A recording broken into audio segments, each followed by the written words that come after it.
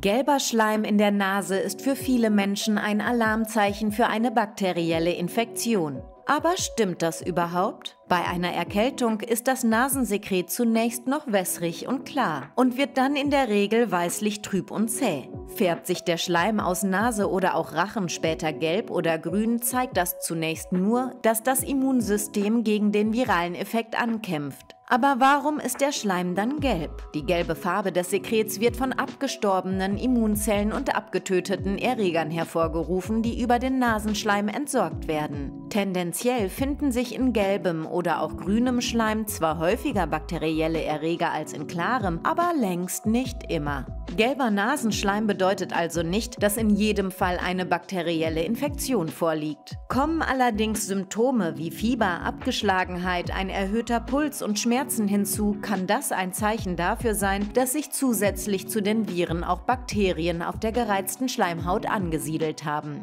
Dann kann die Gabe von Antibiotika nötig sein.